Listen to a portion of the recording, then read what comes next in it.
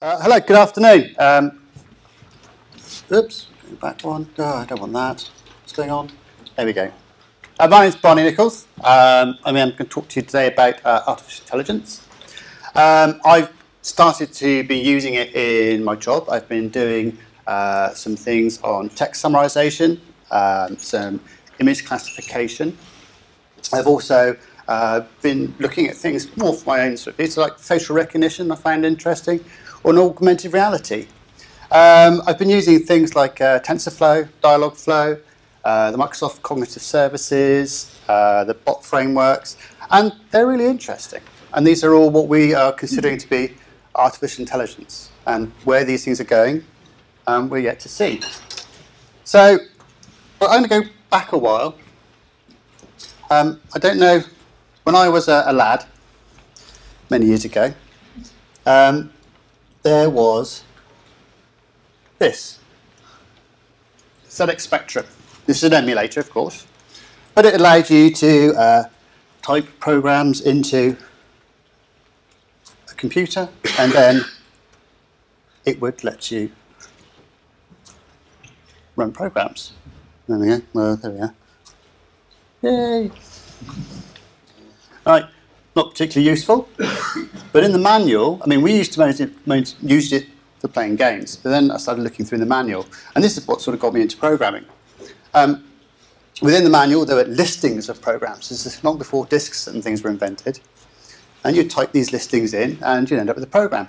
Um, the one that I sort of considered to be artificially intelligent at the time was a game called Pangolins. Now, it's quite a simple game, as you see here. It's asking me to think of an animal. And then it's asking, does the animal live in the sea? I go, yes, it does. Am I thinking of a whale? Hmm, I wasn't. That's quite a good guess, isn't it? No, I was thinking of a crab. Oh. No. What is it then? It's a crab. I thought I told him that. So what's it a whale and a crab? It's asking me questions. It's in interacting with me. Okay, um, crab has a shell. Um, what's the answer for crab? Well, yes, it does. Okay, so do I want another go? Yes. And it's asking me to think of an animal. Does it live in the sea? Yes. Does it have a shell? It's asking me the question. It's learned something. Yes. And now am I thinking of a crab? Yes, I am. So this with me was amazing. And if you played this for a while, it seemed to be that after just a very short period of time, you couldn't think of any more animals. And it, it learned, it was clever, it knew how to tell all these animals apart. Of course, it wasn't, but to me, this, this felt like artificial intelligence. Right, let's go back, figure out how to do it. There we go. Okay, so what is artificial intelligence? It's something where we'd like something to learn. Uh, what are the things, sorry, sorry. Are the things we're coming across at the moment we consider to be sort of artificial intelligence? We've got um, artificial assistants like uh, Google uh, AI assistant, uh, Siri, um, Cortana. These things are all getting very clever. Um, there's chatbots which you interact with probably more often than you think. Um, we're starting to deal with big data. Um, artificial intelligence is using to crunch all this up and give us information that we didn't see before. So this is using machine learning techniques, deep learning, uh, natural language processing. But what do all these things really have in common? They're all using neural networks. Okay?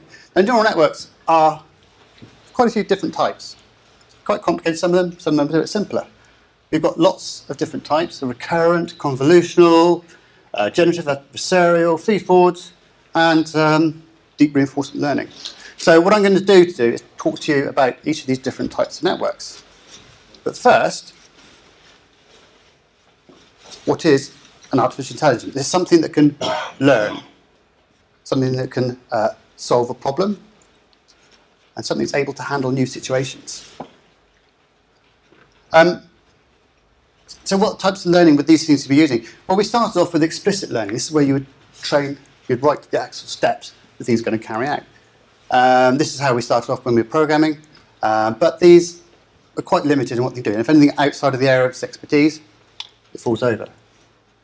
So they started encoding domain knowledge, so you set up uh, rules and uh, facts about some information, and then an inference engine would then deduce potentially more rules and facts from this. Uh, these seem quite good and were very often used in um, medical diagnostics, uh, logistics, and things like that. But again, they're not perfect. We've also started to use statistical pattern detection. Uh, we learned how to solve a problem by identifying um, patterns in data. Okay, but how do we learn? We usually think of a question. We have a question. We then think about the question,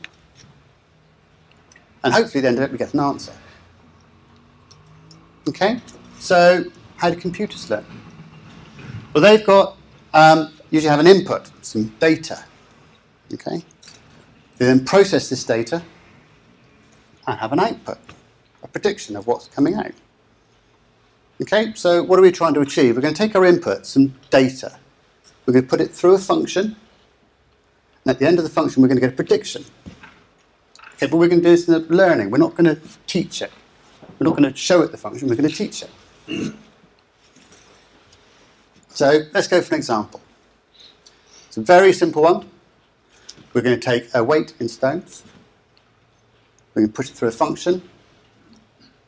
And then we're going to calculate the weight in kilos. Super simple. Okay? So we've got our weight, 10 stones. Nice simple number. Okay? But we're training this network. Okay? We know there's a function there. We don't know what to do in there yet. But we already know, because we're going to train, we start off with some predetermined facts. And our fact at the moment, the truth, is that 63 kilos, just over. Okay?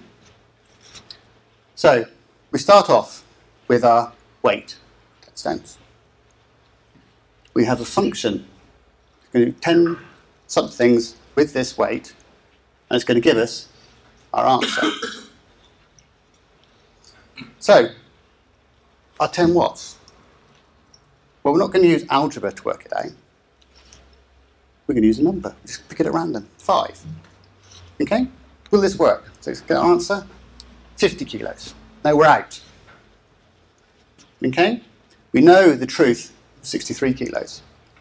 So we've got an error. Our prediction is wrong. We have an error in our prediction of about 13 kilos. Okay, so let's try again. We're training the network. It's been through once, that didn't work. It's going back, using the prediction error to change what it did. So let's try increasing our value. Let's do it by 6. 60 kilos. Our truth is 63, so we're getting closer. We're now just 3 kilos away. Okay, that's good. Let's try again. 7.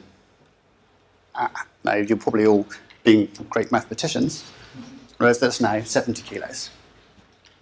We've gone our target was 63 kilos. We're now over by six and a half kilos. So we've actually gone past, we've jumped past where we had hoped to be. So what do we do about that? Well, as we get closer to our answer, we're training each time. We're thinking, well, we went up by too much. We jumped too far ahead.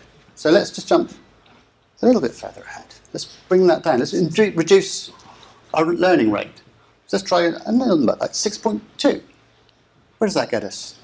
62 kilos. Pretty close. Our answer is 63 kilos that we're trying to get to. But we're one and a half kilos out. Now, to be fair, this may be enough. This may be close enough to the answer you need. You don't necessarily need to have the exact answer. But what I've shown is that you don't need to know how you're going to do it to start with. By using random values and then using those prediction of errors to go back into your function you can get closer and closer to the answer you need. Okay, so what did we just do? We almost got an answer to our question. Almost. We've shown that you can approximately get a result of an answer to your question using random values. And repeating the process, feeding the values back in, can get you closer and closer to the truth. Um, adjusting our learning rate helps us get closer to the truth. Okay, so let's move on a bit. We're going to take some data we're going to have a function, and it's going to make a prediction. Now, the last example I showed you was super simple. As things get more complicated, we're going to have more data coming into these into our function. More and more. Some of this data will be more important than other data, so we might need to give it a weight. So this thing is more important. I need to listen to this more than this value. And this one, I'm really not bothered about. Okay? This could just sum all these values in our function and pass them out to our prediction. But that might not be the answer. We might not say, I just get too much noise. So we very often will put in here a threshold function, we call it, which says, only give me a prediction if it goes over the threshold. Okay? So this is starting to look quite a lot like this. This is a hmm. diagram of a neuron that we find in the brain of most animals. We've got inputs, some of which can be given more value than others. We have a, a node in the middle that carries out a function. It listens to these inputs and then decides when it reaches a threshold to pass it through, down, onwards to somewhere else in its network. Now the networks can be quite simple. A worm, for instance, a nematode, has about 300 neurons. With that, it's able to live, feed, reproduce. Humans, we've got about 86 billion neurons in our heads. With that, we're able to live, feed, reproduce. I don't know what the rest are for. um, so this is a neuron. These are connected together in a neural network. So this is sort of a diagram of a neural network. So rather than a, a function, we have a node. Okay, we usually start with an input layer. These have connections to the next layer. Uh, this is a hidden neuron layer, normally called. And then we have our outputs. When we initialize something, when we train it, we will set um, threshold values in here and random uh, initialization values. Okay, so we don't know what will happen as we go through, and this step's retreated. So we start off putting some information in, and it propagates forward through the layers to the end. Okay, so we've had a function, it's got some made some predictions. If they've reached the threshold, it goes through to the next. Then at the end of this, we'll probably have an error. So we'll use that error use what's called backward propagation to adjust the weights within the network, to adjust the functions. Okay, so if you use this with each of your piece of data, each training step, you eventually will get to an answer. And hopefully it'll be close enough to what you need.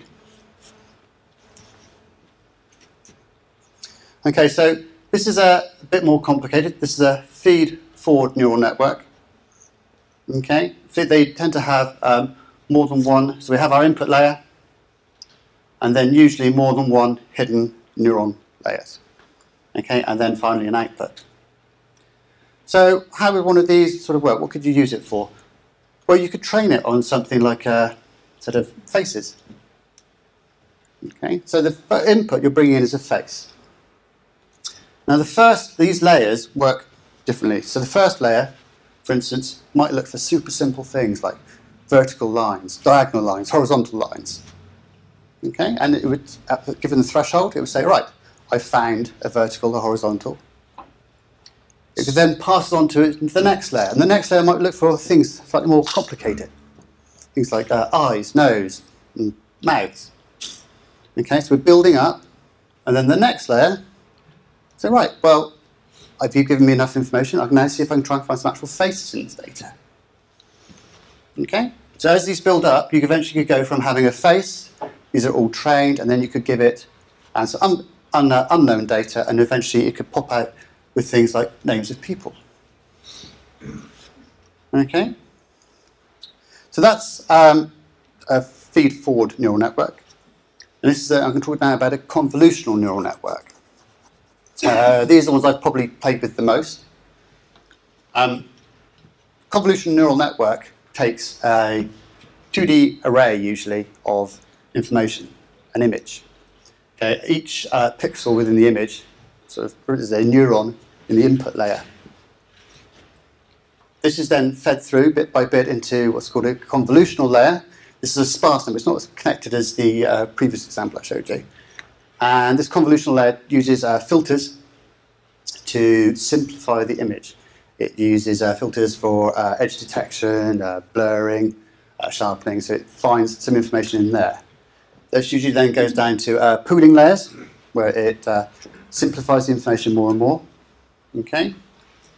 This is then usually repeated, so we go through more convolutional layers and more pooling layers until we get an answer. We said, what is this? Gone through all these layers. You usually have a couple of uh, neural layers right at the end, just a standard network, and it might give you an answer. It's a cute kitten. Ah. So that's a convolutional neural network. A deconvolutional network is very similar. As you can see here, we've got convolutional layers, pooling layers, but this works the other way. We would give it an input, say, I would like to see a picture of a cute kitten. It then works the other way, up through the layers, and hopefully eventually can give you a new self-generated image. Um,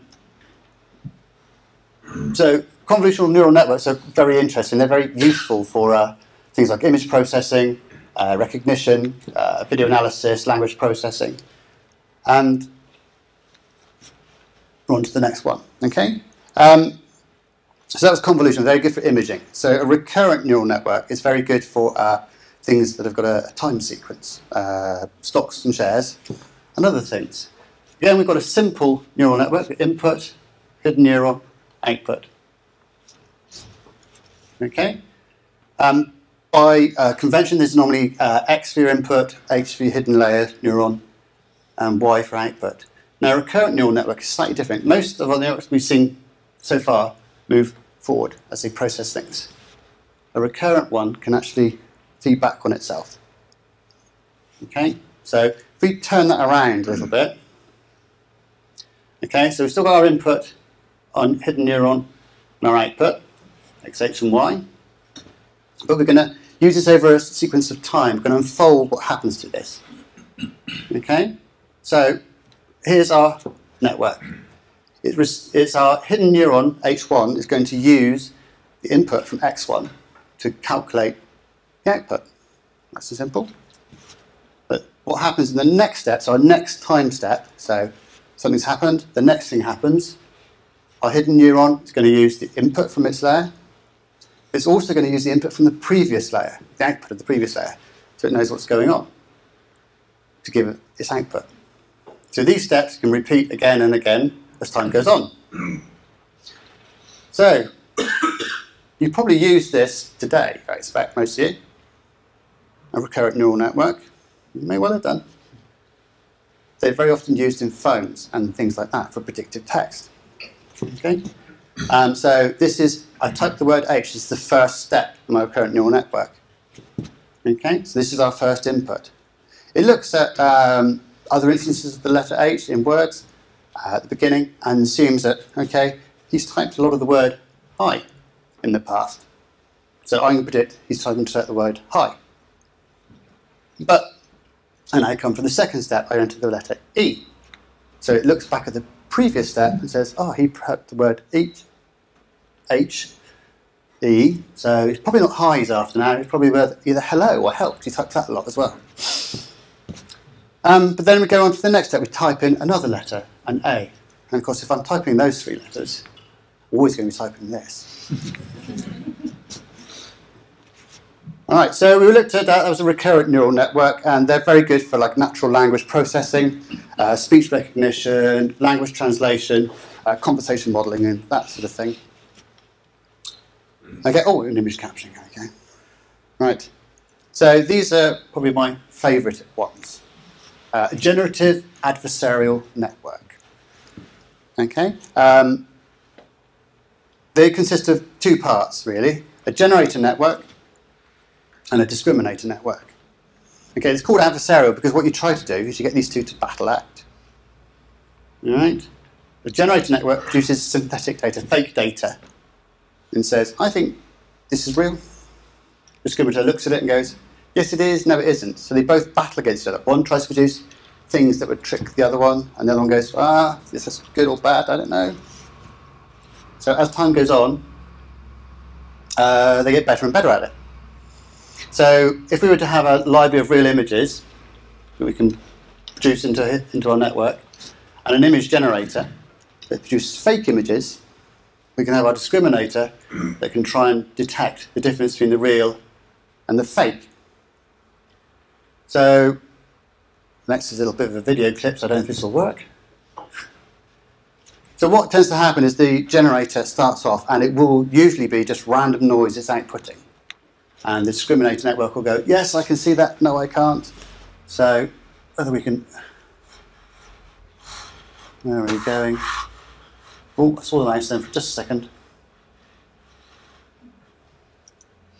Okay, so it generates random noise, which it then passes to the discriminator network and says, was that a face, for instance? And it goes, no, it wasn't. So, so I'll try again. And you'll see it, uh, usually over a period of time, this random noise um, can become more and more um, face-like. So you see faces starting to appear in this just random data. Um, that's quite good, but that's actually very simple, that version. So they've used these in a lot higher versions. This is a generative adversarial network, a GAN, that was used um, to create fake celebrities.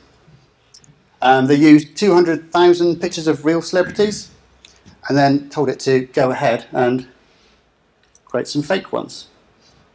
So it's using all that information that's coming in, and these two networks are working their way together, and it starts coming up with these. So these aren't real celebrities. These are fake celebrities. These are generated by a computer. They don't exist. But they just look real to us. So as you see, things are getting very clever with their networks. If you look on YouTube, there's like hours of this, and it's just like, ah.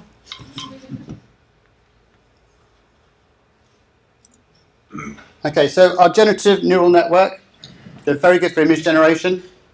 They're great for image enhancement. Um, they can fill in areas of missing data. They can help reduce noise. Um, they can also create uh, text generation. Um, you've probably seen or, or heard uh, poems and songs that have been created by robots and computers now. Um, this is probably what they use. Um, it's great for speech synthesis, uh, drug discovery, um, sort of things where you, know, you can just help improve itself. Um, so the last one I'm going to talk about is reinforcement learning. Uh, this is where we have an agent that is in an environment, okay, and the agent wants to know how to interact with the environment and achieve a goal. Um, it can carry out actions that will affect the environment. The environment will feedback its state, and if the agent does things well, it'll get a reward. Um, what sort of thing are we talking about? Well, autonomous driving, cars. This is uh, real deep reinforcement learning. Uh, its environment is the world. Okay, so it's looking at actions it can carry out. This is like speed up, slow down, turn left, turn right. Uh, the world is feeding back the state. Uh, what position am I in the world? Where, how, what speed am I traveling at? Uh, can I see any obstacles? Is there a corner coming up? Is there a vehicle around? Okay, and it can feed back rewards. And the rewards would be uh, something like you've driven a mile without hitting anything. Yay! um, you get to your destination. These are all things that can feed back into uh, these reinforcement learning techniques. So these things have been used a lot for things like uh, learning how to play chess, uh, learning how to play Go. Um, they help us drive vehicles autonomously, drones autonomously. Um, they're helping in the world of robotics, management, and finance. They are starting to uh, outperform humans in a lot of these things. Okay, so um, what's next in the world of artificial intelligence? A lot of what we considered artificial intelligence used to be um, what we used to consider artificial intelligence now no longer is. I mean, optical character recognition is just commonplace technology. Um, lots of things I use endpoints for used to be complicated things we have to build networks for. I can just pass the file off, they give me the information back, and back it comes. Um, I think it's a long way off till we get like a general artificial intelligence, something that can learn as well as we do in any given situation. But there's a, a lot of things coming up in the next few years I think will uh, surprise us. Um, I don't know if any of you saw the Google I.O. conference. I don't know if this will play or be loud enough. Um, but the assistant the next level of assistant is uh, improving. So this is a talk between uh, a bot and a hair salon. The robot, the chatbot, whatever, has phoned up the hair salon and is then going to interact with a human at the other end. Um, so, don't think we're going to hear it. All right, so it's actually talking to the assistant. You can see the uh, it's interjecting.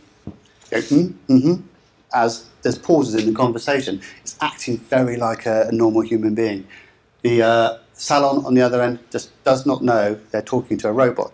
That in itself could be a bad thing, but that's uh, not for this talk. um, and the interaction, I've seen a few other ones this, uh, with is just amazing. The voice synthesis, the interaction, the picking up the information from what the uh, person on the other end is saying and then feeding back is amazing.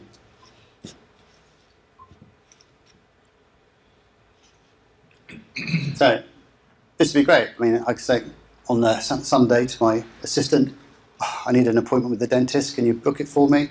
And it would then phone up Monday morning and book me a dental appointment. But uh, I think that's the future. So we shall see what happens with that. So that's it really from me. Um, any questions?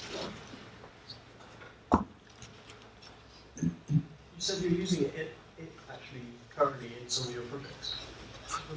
Well, personal projects, I guess, more than anything. Yeah, um, the one, what we do, um, one of our main products is we we uh, look at scanned documents, and a human currently says that's an invoice, uh, that's a medical record, that's a statement. And we thought we could probably do this with some image classification. Um, so use TensorFlow and a, a smallish data set and trained it up. And yeah, we seem to find that very good at telling it, recognizing scanned documents from one type of document to another. You could take that another level using uh, Tesseract or something to do uh, the OCR from the document as well. Then you feed that in. Um, so I think there's lots of possibilities we could go with. So following up on Ben's question, um, so you, could, you could program recognition like that just with traditional programming. Where do you see the efforts? Is there gains on effort of actually producing the AI system which would do that filtering or that recognition for you over the traditional way of implementing a system like that? Um, I would say it's probably a lot easier to do it with uh, a neural network. For instance, we've got uh, a massive archive of stuff that's already been indexed. You could write a program that goes through and figure out all the steps you need to do, um, do you know, and program it to do that. Or you can just point a fairly simple uh, TensorFlow, the deep um, inception network, at some already categorized information, and it will do it for you. So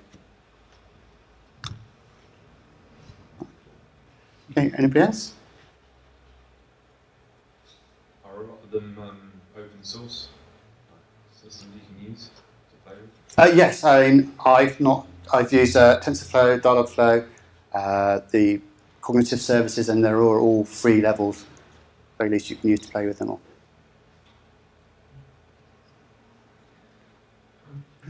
Yeah, I can't remember which type it was, but it was one with the H's, you know, H1, H2, H3.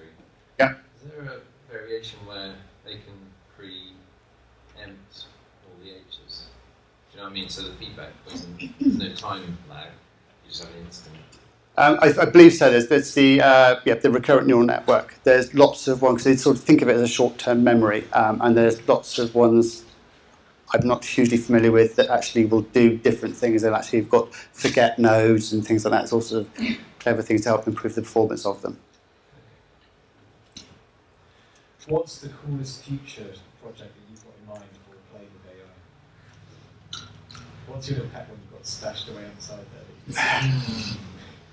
One I've been thinking about recently is uh, my daughter suffers from diabetes. So I'd love to come up with a way that I could help her life. Um, even if that's such a thing as um, showing the packaging to your phone and it automatically ordering a replacement prescription. Says, all right, oh yes, you've used up X amount of these, let's all your replacement prescription, or something that she can um, Use AI to do proper management of the, the insulin requirements. So we shall see. Anybody else? No, well, thank you very much for your time. Um, uh, this is some of the resources I've used um, to put this together. They're um, free or, or free down this way at least, and uh, relatively easy to access. I believe Tariq Rashid is actually doing a talk at Agile on the Beach this summer, so well worth going to watch. Okay? He's just moved to Alston, I think, or onto Lisbon. yeah, yeah, yeah. No, I met him in London, and uh, he's moving down, and he wants to hook up. Because I read his book and I found it really good. It, it, it made it a lot simpler for me. So, very Yeah, we should impressed. probably get him in to do a talk. That'd be good. Um, and I'll leave you running with this. This is um, using Google DeepMind, um, and it's using uh, one that was trained just to see um, animals. So this is a video of a guy going around a supermarket, and the computer can't see supermarkets, but it can see animals. So it gets very trippy. I can imagine with a VR headset and this running live, walking around your local supermarket would be interesting.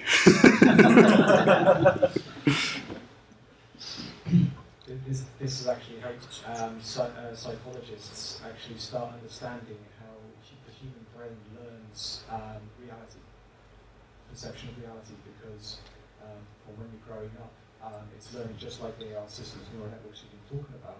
It makes guesses, and then it has reinforcement reactions and um, triggers, which will say, yes, that's closer to reality. Slowly over time, as you're growing up, we build up that. Now, we then end up with a set of rules which dictate what we're perceiving and guessing about what we're perceiving. We usually that's pretty solid. However, things like LSD and that, they start stripping away those rules a bit. And that's why when You end up- you end up with imagery Like that. So that, that, that is really important on your perceptions. Yes, there you are. Right. Thank you all very much.